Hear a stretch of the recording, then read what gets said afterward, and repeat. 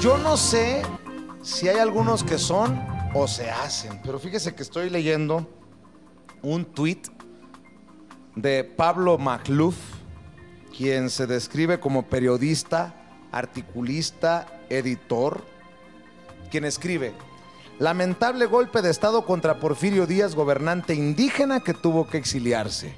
Si bien se religió, fue conforme a la legalidad de la época. Si Madero y demás querían un cambio, debieron haber acudido a las instancias correspondientes. No hay golpes de Estado buenos. No, bueno. No, bueno.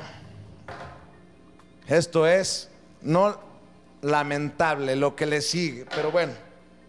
Ya llegó Marco Olvera. ¿Qué tal? Buenas noches. Periodista independiente, corresponsal en Palacio Nacional, quien nos ha hecho un gran honor de presentarnos una exclusiva con el, el general, el capitán, Capitán. Antonio Rodríguez Fritz de la Marina Mercante. Mi querido Marco, antes de entrarle a la entrevista, ¿qué me decías? Sí, eh, con el tema del desfile de hoy, 20 de noviembre, el presidente Andrés Manuel López Obrador pues ratificó que tiene el respaldo de las fuerzas militares y por supuesto de la Marina y obviamente con esto pues le, dan un espaldarazo al gobierno del presidente y lo más importante, salió la gente a apoyar al ejército, salió la gente a apoyar al presidente y bueno, con esto pues los generales ahí picos de cera y cobardes que piden un golpe de Estado con el presidente están muy equivocados. El pueblo está con Andrés Manuel y por supuesto las fuerzas militares y por supuesto la Marina eh, que salió a las calles. Aunque hay que decirlo,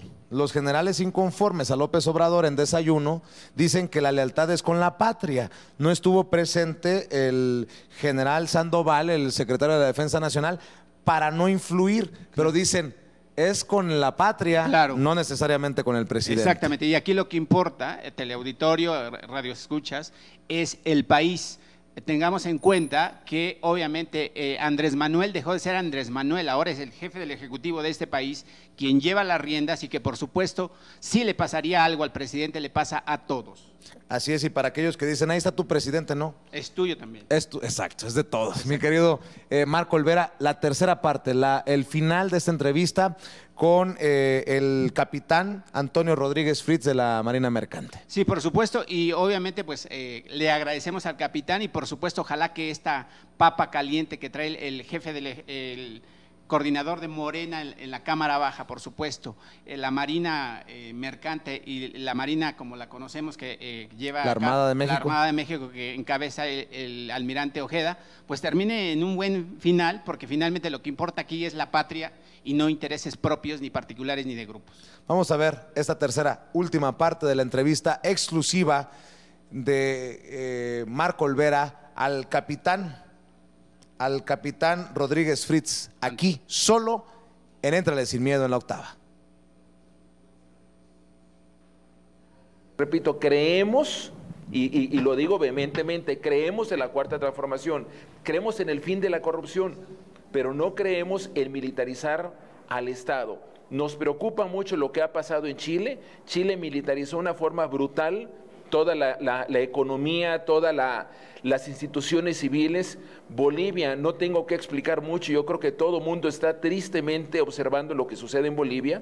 Y en México, imagínate, si todo el sector productivo de transporte, en este caso es marina mercante, pero después vendrá transporte terrestre o la aviación civil, si lo vamos a militarizar, por amor de Dios, se termina por completo la capacidad civil de producir riqueza. Hay empresas privadas que nos expresan muy preocupados que se acaba la certeza jurídica para invertir, porque ahora serán las Fuerzas Armadas las que darán o no permiso de construcción de instalaciones portuarias, de servicios. Es algo totalmente inconcebible. Ningún país en tiempos de paz se ha atrevido a militarizar sus servicios civiles, mucho menos en un gobierno democrático. Esa inversión para ese canal, para la conectividad de- del Mar Caribe con, con la otra parte, Mira, eh, el costo que aparece publicado es de 400 millones de pesos, no estamos hablando de un valor bajo. Esos 400 millones serían colocados, según dicen las, la información, 200 millones por el gobierno de Quintana Roo y 200 millones vendrían del erario público a través del presupuesto que recibe la Secretaría de Marina Armada de México. Entonces son 400 millones. ¿sí? Es una cantidad muy alta. ¿Por qué no generar empleo? ¿Por qué no generar inversión? ¿Por qué no permitir a empresas que puedan competir? Porque hay una cuestión. Se dice que por seguridad nacional las Fuerzas Armadas no licitan servicios, contratan por asignación directa. Imagínate el riesgo que estamos teniendo. ¿Y quién nos audita? Ellos mismos. ¿Sí? ¿Cómo es posible en un país, repito, en democracia? Capitán, ¿cómo han respondido los empresarios con respecto a la intentona de la iniciativa de, Morena en la Cámara de Diputados, encabezada por Mario Delgado, en el que se le, otorga pues una facultad a la Marina para quedarse con la estructura de la Marina Mercante. Mira, eh, se ve con preocupación. Hay que recordar que hay dos iniciativas y por más extraño que parezca, las dos vienen del mismo partido de Morena. Eh, la iniciativa, vamos a decirla mala, presentada por el diputado Mario Delgado, no es otra cosa más que recoger lo que quiso hacer Peña Nieto y no logró, ¿sí? que es empezar a militarizar por completo todo lo que es el transporte y todo lo que es el ingreso a los puertos e infraestructura portuaria. Morena votó en bloque en el 2016 en contra, en contra. y fue mayoriteada por otros partidos, pero votó en contra. Y los planteamientos que hacen en su momento hablan de la incapacidad de las Fuerzas Armadas, así lo dicen los planteamientos, de dedicarse a cuestiones de carácter eminentemente civil. Y de repente hablan de militarizar. Hay otra iniciativa de otra diputada, también morenista, explíqueme un poco. Así es. Hay una, una diputada, la diputada Juana Carrillo Luna, que muy interesante, ¿qué es lo que dice? Lo que es de carácter civil, civil, tiene que volver al ámbito civil. Lo que es netamente administrativo y comercial no puede estar en las Fuerzas Armadas. El entendimiento desde el punto de vista legal, jurídico y hasta te diría yo, moral, es completamente sencillo. Es inmoral, es eh, eh, totalmente aberrante colocar a militares a encargarse del comercio del país. Eso es lo que estaría pasando. Entonces la diputada Juana Carrillo presenta esta iniciativa. Entendemos, porque hemos platicado con varios inversionistas, que esa iniciativa traería una mayor certeza a la inversión privada. ¿Qué es lo que queremos? Queremos que el comercio en México florezca, queremos que el comercio en México vuelva a tener una capacidad eh, de generar riqueza. Ahorita con las limitaciones que hay, la Marina Mercante aporta el 1% del Producto Interno Bruto del país. Si hubiera un sistema adecuado de apoyos como hay en otros países, estamos hablando de recuperar parte de los 20 a 25 mil millones de dólares que todos los años estamos perdiendo por no tener buques mexicanos. Certeza jurídica, que aquel que invierta sepa cuál es la, la la certeza de lo que va a invertir, que pueda programar en cuánto tiempo recupera la inversión. Ese primer punto. El segundo es buscar una serie de mecanismos que le permitan a los barcos de bandera mexicana competir con barcos extranjeros.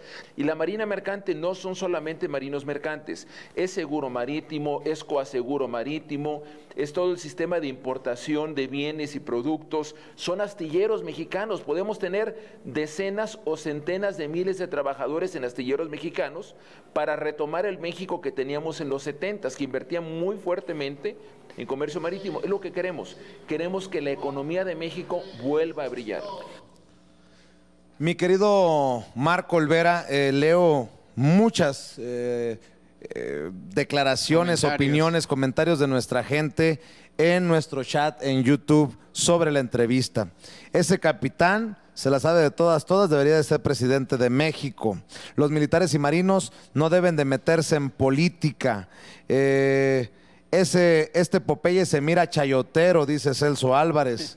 En fin. Bueno, son opiniones, se respeta, por supuesto. El auditorio es el que manda y pues nosotros siempre vamos a estar a sus órdenes. ¿Y, qué te parece si vamos preparando otras piezas? Claro. Interesantes para que la gente que nos sintoniza, que nos ve, pues se sigan informando y que le entren sin miedo porque aquí en, la octava, con Vicente Serrano y por supuesto sin censura en las mañanas, le vamos a entrar sin miedo, donde usted se informe y lleve la batuta para que ya no lo sigan engañando, ya no lo sigan manipulando y transformemos este país.